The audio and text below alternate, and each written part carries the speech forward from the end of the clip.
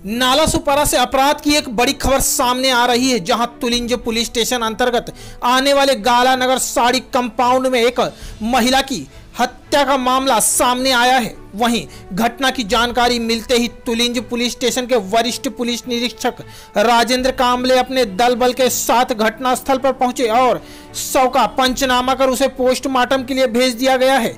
वहीं पुलिस द्वारा मिली प्रथम जानकारी के अनुसार पता चला है कि महिला की हत्या उसके ही बॉयफ्रेंड द्वारा गला घोंट कर की गई है। फ़िलहाल हत्या के कारणों का अभी तक पता नहीं चला है। वहीं पुलिस ने तत्परता दिखाते हुए आरोपी व्यक्ति को गिरफ़्तार कर लिया है। आपको एक बार फिर बता दें कि नाला सुपारा तुलिंज पुलिस स्टेशन अंतर्गत आने वाले गाला सिरडी नगर के साड़ी कंपाउंड में एक महिला की हत्या कर दी गई है। नाला सुपारा से क्राइम की एक खास रिपोर्ट।